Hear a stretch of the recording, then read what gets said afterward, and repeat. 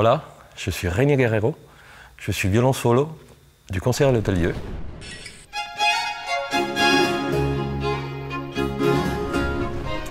Nous sommes en train de préparer un programme à l'affaire Bach. Il y a une pièce dans ce programme que je trouve particulièrement très intéressant au niveau instrumental. Je voulais vous en parler un tout petit peu. Cette pièce, euh, elle est connue comme la suite numéro 5 de Jean-Sébastien Bach. Euh, et ben, c'est probablement pas du tout de Jean-Sébastien Bach. La plupart des érudits du milieu de la musique de Bach euh, ont attribué cette musique à Wilhelm Friedman Bach, l'un de ses fils.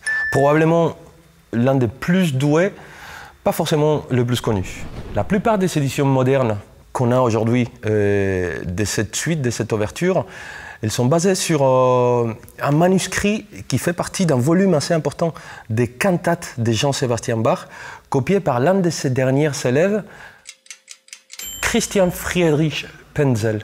Christian Friedrich Penzel, par la, euh, Christian Friedrich.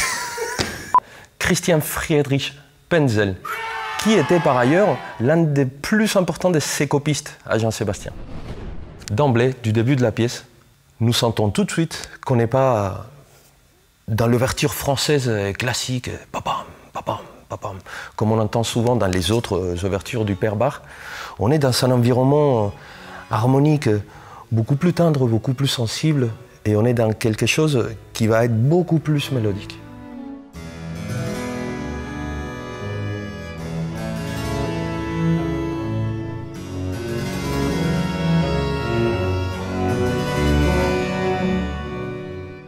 Nous arrivons à la deuxième pièce de cette suite.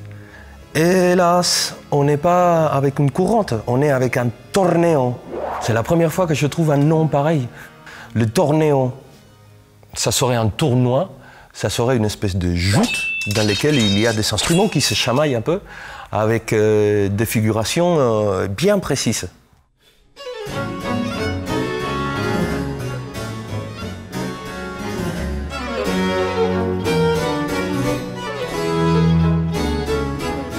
Troisième pièce de la suite, c'est un aria qui est conçu vraiment dans un style nettement galant.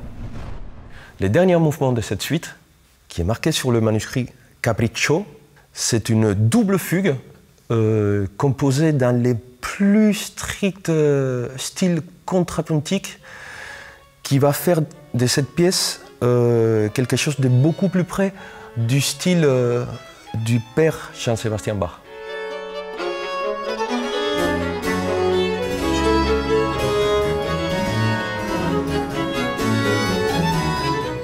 Quoi qu'il en soit, qui que ce soit les compositeurs, c'est une musique euh, qui reste euh, fort intéressante, chargée d'une variété expressive euh, assez large et qui exploite la plupart des moyens techniques que nous avons dans les instruments archers.